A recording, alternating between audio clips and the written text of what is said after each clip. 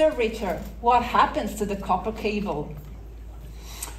Um, well, uh, it, it, sh- it, should be a thing of the past. Um, uh, I think that everybody knows that uh, copper is slow, uh, is inefficient, um, uh, but the problem is that the big networks uh, use a lot of a lot of copper. So, um, so what we want to do is launch a network that guarantees uh, no copper, and uh, Virgin Fibra will be doing that. Tom, let's talk about Virgin Fibra. Why did you choose an Italian word?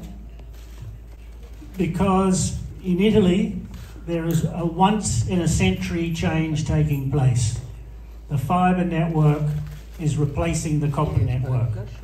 This is a huge strategic change. And in Italy, the fibre networks are growing very fast. Italy is doing better than most countries in Europe.